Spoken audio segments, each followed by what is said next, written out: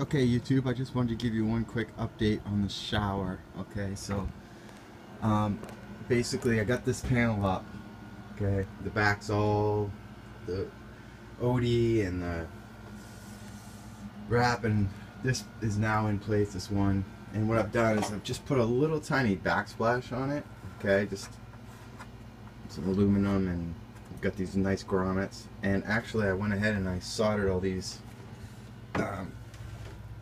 So it's not perfect. It doesn't look perfect, but I uh, I was kind of going with that industrial kind of look.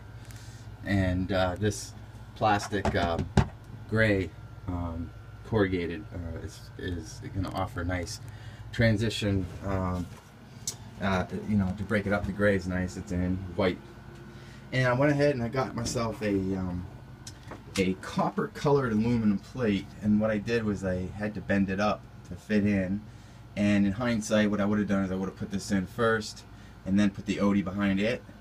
Uh, that probably would have been the best way, and I still can.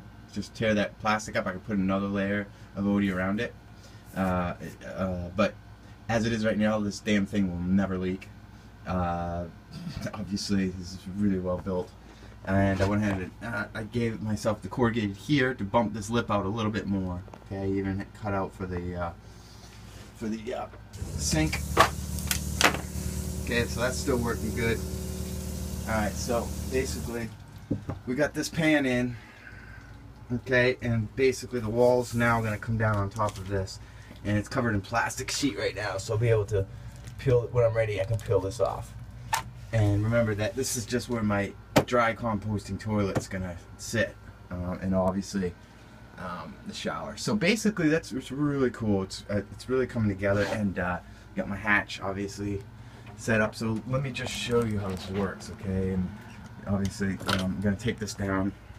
Just gonna put it in, in here for now. But so I, I just went with just the blue and red, obviously, uh, hot and cold. I don't have my on-demand uh, uh, setup uh, with the gas yet.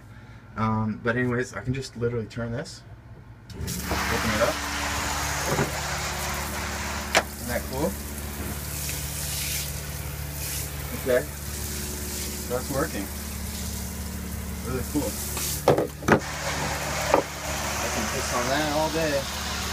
And you got, so I made my own mixing valve. Just made my own mixing valve. It's basically how a mixing valve works. You got cold coming in, hot coming in, and you can alter uh, which and which and then just goes up through the center. And since it's the only shower, I don't have a tub, I only had to have uh, just one outlet coming up here. Um, okay, I'm probably going to do the same aluminum backsplash thing up here too.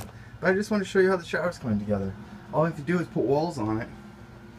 And uh, uh, the corrugated is going to come out past here with the lips and everything and with wing nuts. And then I'm going to take some like weather stripping seal on the back of my panel so that when I wing nut it into place, it'll literally be sealed for the, any gases left out back up there.